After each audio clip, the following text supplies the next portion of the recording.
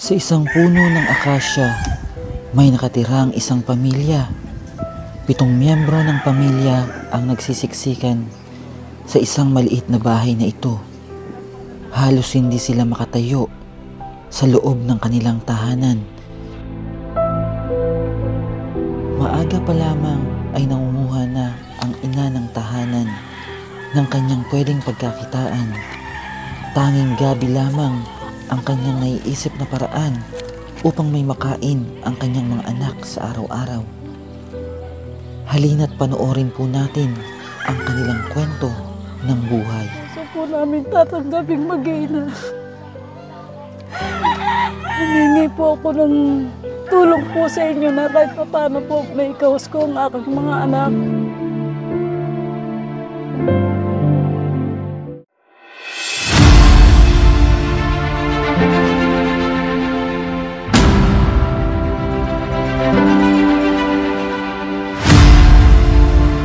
Yan, good afternoon mga kababayan. Ano, at nandito po tayo sa Barangay Landayan. Ano, at may kababayan tayo dito na talagang sobrang hirap ng kanilang pamumuhay. At dito po sila natutulog daw yung mag-asawa. Dito po sa ano na to, etong papag dito sa labas ng bahay nila. Dahil napakaliit po ng kanilang tahanan na ano, at hindi po pwedeng tumayo sa tahanan na ito. Dahil talagang halos magkalapit lang ang sahig at saka ang bubong. At meron po silang ano, limang anak na pinatira lamang po sila dito dahil may naawa din po sa kanila na kababayan natin. Ano? Tara mga kababayan at alamin natin ang kwento ng buhay nila. Tara po. Ayan, dito tayo at kausapin natin si ate. Ayan. Ah, magandang hapon, ate. Ay, magandang hapon sa inyo mga bata. Ano? Ayan, at ano, ah, kamusta po kayo? Mabuti naman po. Okay lang. Okay naman. Oo, kahit pa paano okay naman ang buhay, ano? Sensya na po. Hindi Oo. makaka... Oo, maliit lang mga kababayan ang bahay nila. Tingnan niyo po ang bubong. Halos ano na po talaga sa kanilang higaan, no? Ito na yan. Pero pagka... Hindi po sila makakatayo. Ito po ang aming lagay ng damit. Oo. Ito po mga bagbilan. Oo, Maka... may anak po si ate, lima, ano? At ito po daw lahat ay nag-aaral naman. Ayan, mga kababayan, ano, at ito po, ma papakinggan po natin ang kwento ng kanilang buhay, ano? Ah, dito po kayo, Nay. Ayan, at ano, hindi tayo makakapasok sa loob. Hindi tayo mapapatuloy ni Nanay kasi talagang ang liit po ng talaga. space po sa loob ng bahay niya, ano? Ah, ano pong pangalan niya, Nay? Sara po. Sara. Nay, kabitan ko lang kayo nito ah. Sara, si Nanay Sara. Ang munting prinsesa po ba? Pinapatawa ko lang po kayo, ano? At para kahit pa paano, malimutan niyo yung mga problema niyo. Ayan, kamusta po ang buhay niyo dito, Nanay Sara? Eh, kung sa ano po, ayos lang. Kahit pa paano po. Na Paano, ayos lang. natataguyod ko naman po yung ano nila. Na, Sa araw-araw na pagtitinda kahit kinakapos, pinaghati-hati na lang namin.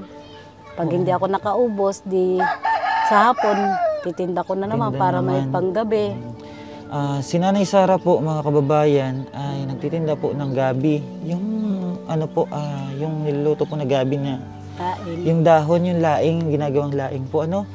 At kung nakita niyo naman po kanina, doon po siya nangunguha sa madamong lugar. Ah, pinagtsatsagaan niya po yun para may maiuwi siyang ah, pera sa mga anak niya. At kinaumagahan, merong magagamit, pambaon-baon at pambili nila ng pagkain. Ngunit sa kasamaang palad po, ah, talagang kinakapos sila. At dito lang sila nakatira sa maliit na barong-barong na ito, ano? Hindi nga nakapako Oo. eh. Ah, hindi yan mga Tinanay nakapako. Oo, hindi ba delikado sa inyo na biglang bumagsak? O, ilan po ang anak niyo, Nay? Lima po. Lima. Ito Oo. po ang aking panganay. O, anong pong pangalan ng panganay niyo? Erwin po. Ah, si Erwin. Sino pong sunod dyan, Nay? Ito po CJ po. CJ. Tapos, Tapos po si Ashley. si Ashley. At Si saka si Ashley Joy. Ashley Joy. Tapos ito po si, to, si Ruel Jr. Ruel. Ah, Ruel. Ruel Jr. Oo. At yun po ang ano, ah, yun po yung mga pangalan ng mga anak ni nanay. Ano. At na yun lang ba ang ano, yun lang ba ang pinagkakitaan nyo? Ang pagbibenta po ng gabi. Saan po ang asawa nyo na? Nasa ano po siya, sumasama po siya sa mga kaibigan niya pagka may trabaho. Minsan po hindi nakakauwi dahil po minsan hindi naman nakakahanap pa ng trabaho. Oo, kaya ano, sideline, sideline. No, kumbaga. kaya po tinutulungan ko naman po siya para may Oo. pangkain kami. Tinutulungan mo, nagsusumikap po si nanay, ano, makapagbenta ng gabi para sa mga anak niya. Kasi ang hirap talaga ng buhay ngayon, nay. Opo. At paano po ang ano nyo sa araw-araw nyo? Ah, na ah, ano naman po ba na ah, na anuhan naman ng inyong pag ah, paggagabi yung Madilim pa lang po, pagkain mga nila? alas 4. Sino, na ano ko na po yung Sinasadsad nyo masukal na yan. Oo. Kamusta naman po sa kita, nay? Kaya naman ba yung ano? Pagka po, Gastos? alimbawang ano, pag naka 150 na ako, 200, muwi na po ako. Kasi Umuwi na po, kayo. yung baon po nila, tsaka yung kakainin. Mm-mm. May madaanan ako dyan palamig. Bibili na lang po ako para kahit pa paano may laman yung tiyan ko. Mm, yun na lang ang inaano mo para sa mga anak mo, para may Kasi maiuwi ka. isipin ko po, walang matitira kapag ka Oo, pag bumili ka pa ng para sa'yo. pa, nakadaan pa ako sa Grabe. bakery, tinapay, ganyan. Oo, at hindi talaga natin masukat ang sakripisyo ng magulang ano para sa mga anak. Ah, Siyempre, bilang magulang, uunahin natin yung kapakanan ng mga anak natin bago yung sarili natin. At, Nay, paano, paano po ang buhay nyo dito? Gaano po kahirap yung pamumuhay nyo dito, Nay? Lalo na't ganito lang yung tinitirahan nyo. Kasi Paano po, sa araw-araw, Nay? ano dito, kahit papano, patira lang kami. Mm-mm. So, sampu, sampung taon na po, hindi, sampung taon na rin po Oo, kaming sampung walang taon na. kuryente. Katul Kandila. Opo, ito po, nakatigil na po talaga yung, ano po sa amin, kulambo. Mm-mm. Sila pong mga anak ko, dito po lahat sila, kami pong mag-asawa, sa labas na lang po natutulog kasi Ah, hindi po inaasahan na umambon. Mm-mm. safety po sila. At least andito sila. Hmm, kami po, ito tinataklob namin yung plastic para kung umambon man, Hindi wag kayo lang mababasa. lalakas, di kami mababasa. Ah, dito yung mga bata.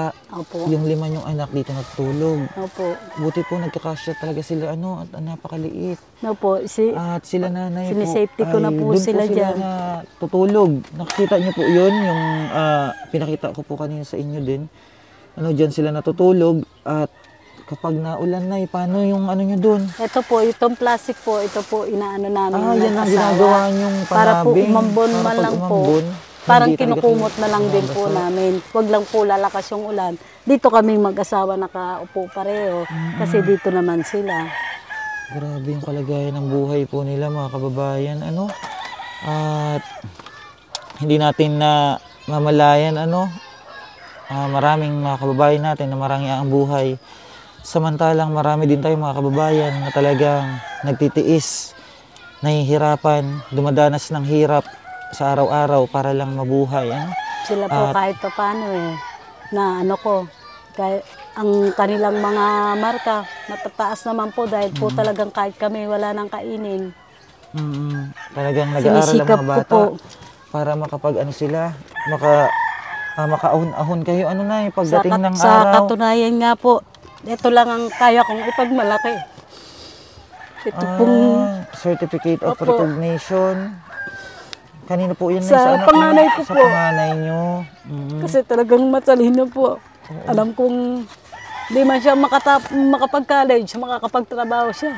Mm-mm. Ito po yung card niya, 97, 96, 87 yung Ay, ano. 92, 88, 87, 90, 87, 90, 86, 86, 84, 86, 90, 83. Ang galing nga. Ang galing na Pag bata. ano pa po niyan, sasabihin ko, Wen, Oo. magtitinda ako ng hapon, mag sumama ka sa akin sa pangunga para sa gabi naman po. Tsaka yung, niisip ko kasi yung babaonin naman nila kina magahan. Mm. At Kaya hindi po kami titigan ng, hindi kami makakapagtinda ng hapon. Dahil yung pambukas po yung iniisip, iniisip namin. nyo. At nakakatuwa ano. At congratulations sa iyo, Ruel, Erwin, ano. High school na po yan, pero 20 lang Ah, oo. po ang baon yan. Sila tig sa 10 po, tigli lima. Oo, May matira lang po sa ano. nakuha mo yung ganyang grado, ano. Magsumikap ka pa para pagdating ng panahon, maging maayos yung buhay nyo, matulungan mo yung mama Maano mo, po, yung ang papa gusto niya mo. lang naman, pagka nakaano siya, makapagtrabaho pero mag-aaral din siya para kahit papano, makakain na masarap-sarap pag may trabaho. Oo naman, para maranasan din, ano, magsumikap, maranasan yung, ano, yung, ah, ano ng buhay, yung Hindi rin sila nahiya magtitinda. Ah, Nagtitin- nagtitinda rin Nag-iikot po po sila. sila, Oo. para pambaon nila. Oo, at Nay, ah, matanong ko lang, gaano kahirap yung buhay na pinagdadaanan nyo sa ganitong sitwasyon ng kalagayan nyo? Mahirap po talaga kung sana. Ang inaano ko lang sana may tumulong sa amin. Ma, makatayo man lang kami kahit kudrado lang po na ano, ma, mapukpok lang na talagang makakatayo lang po kami at isang lamesa para po sa Pasko eh, kahit papano isang isang kandila man lang na malaki-laking matagal mamatay di makakaraos din po. Mm-mm. Ah, Nay, ah, ano po ba yung ah, pangangailangan nyo na baka sakali na makatulong kami sa inyo?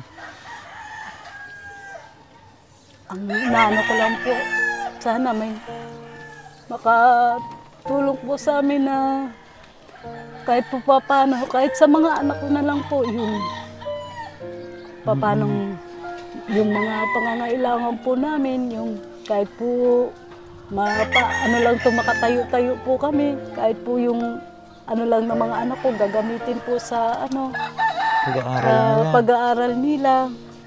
Tsaka po, mailing po sana ako na kahit ano pong tulong na ibigay nyo, kahit pantinda-tinda lang po namin, gamit sa pantinda, pantinda-tinda. Y- ano po bang gamit nyo sa pagtitinda nyo ng ano, Gusto ko po gabi? sana yung kahit isang maliit na maliit lang po na bisikleta para po pagka ano, nalilibot ko po yung ano, hindi po ako nagagahol sa pagpapasok po nila. Tsaka po kahit papano, makaka, ano po kami ng, makakaluto po ng maaga, ganyan.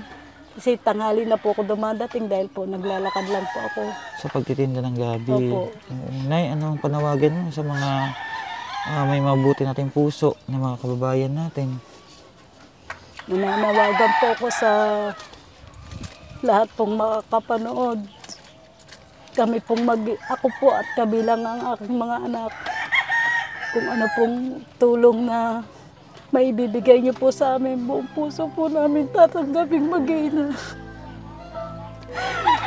Humingi po ako ng tulong po sa inyo na kahit pa paano po may kaus ko ang aking mga anak at saka po panghanap buhay ko kahit ano pong tulong ang may bibigay niyo buong puso ko pong tatanggapin.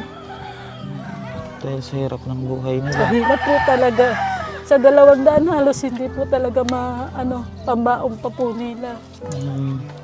Ayan at nanay, ano, paabot kami ng tulong para sa inyo. Ah, para kahit paano po makatulong sa pang araw-araw nila at pambaon-baon na rin ng mga anak, ano? Dahil talagang hirap, maging isang mahirap, ano? Ah, tayo po ay ginawa ng Diyos upang maging tulay. Ah, papunta po sa mga kababayan natin na nangangailangan ng tulong. Ah, paabot tayong tulong kay nanay, ano? At sana makatulong yung ating ibibigay para sa kanilang ano, pamilya ano. At sana po ano ah, mag-pray lang kayo na, tiwala lang. At si God ay may ipapaabot sa ating mga kababayan natin ano. Hindi natin masusukat kung gaano ang Panginoon kumilos ano. Ah, nanay, tanggapin niyo po ito. Ah, sana makatulong to kahit papaano ha. Ah, 1,000, 2,000, 3,000 ha. Maraming salamat Oo, po. kahit po ay- paano po, bibili na po kami ng Oo. Bigas, ng pagkain bigas. po nila. Kahit paano po, mamimili rin ako sa binya ng mga ititinda pong gulay. Oo. Maraming maraming maraming salamat po. Ititinda nyo ano. Salamat po ng maraming Oo. maraming po. Maligayang Pasko po. Mm-mm. At yan po mga kababayan, ano, ah, marami po kasi tayong pinagagastusan pa. Meron tayong shelter na pinapagamot natin yung mga ah, mga taong grasa, ano. At sana kahit paano makatulong pinabot natin kay nanay. At dahil po yan sa inyo mga kababayan, sa hindi nyo pag-skip ng ads at pag-share ng mga video natin. Kaya thank you, thank you so much sa walang sawang pagsuporta. Ah, mabuhay po kayong lahat. At ito po, ah, hingian ko lang na konting ano yung mga anak ni nanay. Ano, nay? Pwede Opo. mo kay Ram? Ah, dito tayo muna mag-umpisa. Ayan, kamusta ang buhay niyo, boy? Okay lang. Okay lang? Nag-aaral ka? Ako. Ah, nag- Nag-eskwela siya. O, kamusta ang ano? Kamusta ang pamumuhay dito? Sa ganitong klase ng ano? ah, bahay. Nakakatulog naman kayo ng maayos? Mm, nakakatulog naman daw sila ng maayos, ano? At wala naman talagang ibang matutulugan kundi dito kasi talagang ang hirap talaga ng buhay ngayon. Kaya ano, ah, kung ano yung meron sa atin ngayon, yun na muna ano. Bawi na lang tayo pagdating ng mga panahon. Malay mo, maging isa kang pulis. Di ba? Hmm. Ito po, anong pangalan nito? Ayan, salamat sa iyo, Buya. Ikaw, anong pangalan mo, Be? Ha? Ilang taon ka na? Nine. Ano ba pangarap mo sa buhay? Ha? Maging? Doktor. Ay mag-aral mabuti ha. Para matulungan si mama pagdating ng araw, ha? Hmm. Kamusta yung pag-school mo? Okay naman. Ito po, ano po ito? Anong pangalan po nito? CJ Ah, si CJ. Bakit mahaba ang buhok ni CJ? Hindi pa po kami, ano, papagupit pa lang. Hmm. O, kamusta CJ ang buhay niyo? Okay lang po. Okay naman. Kahit pa paano, lumalaban. Opo. Yun ang mahalaga. Lalaban. Walang susuko. Patuloy lang. Ano? At huwag mawawalan ng pag-asa. Basta magpray lang kayo. Magiging maayos din yung buhay niyo Opo. pagdating ng panahon. Ano? At salamat sa inyong tatlo ha. O, dito naman tayo. Anong pangalan mo, Be? Ashley po. Si Ashley. O, kamusta naman si Ashley? Okay lang. Okay lang naman. O, kamusta ang pamumuhay niyo? Okay lang po tumutulong na po sa Hmm, nanay. tumutulong ka kay mama mo. Oh, very good. At tuloy-tuloy lang ano, maging mabait na anak. At balang araw may naghihintay na blessings para sa inyo. Huwag magiging pasaway ha. O, kahit ganito yung kalagayan natin sa buhay, huwag tayong mahihiya, huwag tayong panghihinaan ng loob.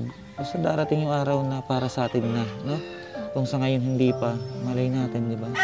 Kaya mag-aral kayo mabuti. At ito po, ano, yung pinaka matalinong anak ni ate. Anong pangalan mo? Erwin po. Si Erwin. Oh, ilang taon na si Erwin? Ano po, 17 po. Ah, 17. Oh, tuloy mo lang yung pag-aaral mo ha. At nakita ko na may mararating ka maayos na ano, makakuha ka maayos sa trabaho dahil ang taas ng grades mo. At sana tuloy-tuloy ha. Huwag mo nang magbabarkada. Pwede magbarkada pero hindi yung talagang barkada ha. At ano lang, laban lang sa buhay. Tulungan niyo yung mama niyo. Kasi ang hirap ng ganitong buhay ng ano, ah, na talagang halos ano tayo, ah, kumakayod para lang may maisubo sa loob ng isang araw, kahid na naman, para may maisubo yung isang kahig, isang tuka, di ba? Kaya fight lang ano, at lagi kayo magdarasal ha. Oo, at good luck sa yung ano, ah, mga grades ano, sana mas tumaas pa. Pa, lam- pal- pal- palampasin mo ng ano, 100. Ayan, at uh, Nay, ano na rin kami ha, doon na rin kami at sana kahit paano makatulong yung aming pinagkaloob sa inyo ha. Salamat At po. malay nyo po, may biyayang ipagkaloob sa inyo ng ating Panginoon. At babalik po Salamat po kami dito, ano? Inyong programa, Mm-mm. Kasama po ng mga anak ko. Mm-mm. Lalo ko po pong pagsisikapan silang makatapos. At saka itataguyod ko po talaga ang pamilya ko ano man po mangyari para sa mga anak ko. Yan, salamat nanay at kahit ganito kahirap yung pamumuhay, talagang laban, ano, lumalaban at Dadaos namin ng Oo. Paskit bagong taon na talagang malay nyo, ah, may makapansin ng inyong kalagayan at bigyan kayo ng pang Noche Buena, di ba? Ako lalong maraming salamat po. Kaya keep on praying lang at magtiwala tayo sa taas, ano? At napakabuti natin Panginoon. Ay mga kababayan, ito po ang kwento ng buhay ah, ng pamilyang ito na nakatira po sa ilalim ng akasya. At maraming salamat po sa inyo sa walang sawang pagsuporta. Mabuhay po kayong lahat mga kababayan. Thank you so much po at aalis pa rin po kami ano. Maraming salamat and God bless. Bye-bye po. Thank you so much mga kababayan.